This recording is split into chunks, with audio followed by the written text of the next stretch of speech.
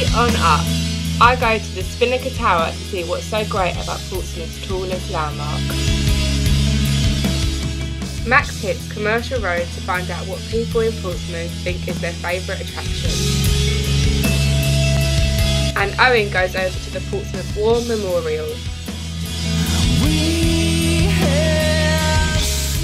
Blessing goes down to Nelson's Dockyard to find out many facts about its history.